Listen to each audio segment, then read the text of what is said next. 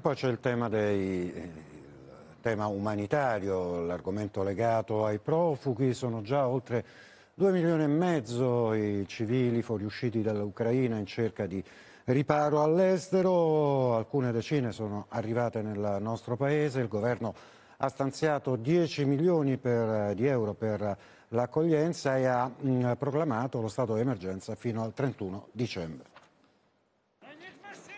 Il numero dei rifugiati dall'Ucraina tragicamente ha raggiunto i 2 milioni e mezzo. Stimiamo che circa 2 milioni di persone siano sfollate all'interno dell'Ucraina, milioni di persone costrette a lasciare le loro case da questa guerra senza senso. Con questo tweet Filippo Grandi, alto commissario ONU per i rifugiati, ha aggiornato i numeri delle persone in fuga dall'Ucraina che si sta riversando in Europa. In Italia solo nelle ultime 24 ore sono arrivati 4.500 ucraini, dall'inizio del conflitto più di 31.000, in maggioranza donne, quasi 16.000 e circa 13.000 minori, neanche 3.000 gli uomini, secondo i dati del Viminale.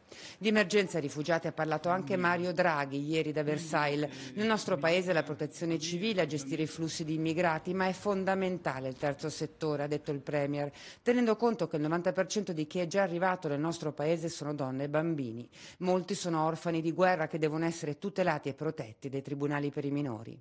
Il Consiglio dei Ministri ha dichiarato lo stato di emergenza fino al 31 dicembre e stanziato 10 milioni di euro per poter accogliere e assistere la popolazione ucraina nel nostro Paese. Tanti hanno già raggiunto familiari o conoscenti, mentre il sistema di accoglienza del terzo settore dei privati cittadini pronti ad ospitare i profughi non può reggere il ritmo di oltre 4.000 ingressi al giorno. Il Viminale sta lavorando ad una piattaforma informatica su cui far confluire tutte le offerte di disponibilità.